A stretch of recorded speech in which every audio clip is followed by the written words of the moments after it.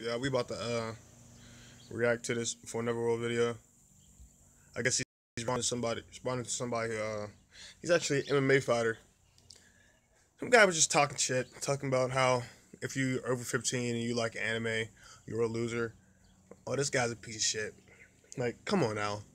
Really, dude? Are you that macho? Are you, are you rock solid? Is your heart solid?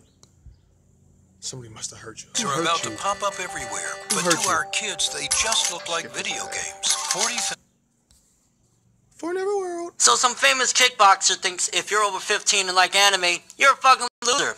Yeah, according to Andrew Tate, 43 and 8. He thinks uh people that watch anime that are over the age of 15 are losers and all sorts Somebody of different things. We're gonna read some of this dick. man's tweets. Apparently he's famous, even though uh I got more Twitter followers than him, and I'm an anime guy. So hey, yeah. who's the loser right there, buddy? But yeah, uh, before we you know start into all of that, let's read some of what this man thinks and how he is approaching the situation regarding his opinion on anime fans. Tweet number one. If you're If over you are over 15, 15 and like 15. cartoons, you are a loser. He's probably anime, an anime Dragon fan. Ball Z, etc. No excuse. Plus, any woman loses respect for you. Grow up, huh? No, So even though Dragon Ball Z is pretty much over 15 years old in the West at the very least, I know it's been out for like 30 years, Yeah. Dragon Ball in Japan, but let's just talk about the West for a 2nd Mm-hmm. Uh, if I'm not mistaken, it came over here and it started exploding in what the late 90s, Mm-hmm. which that's definitely over you know 15 years ago. So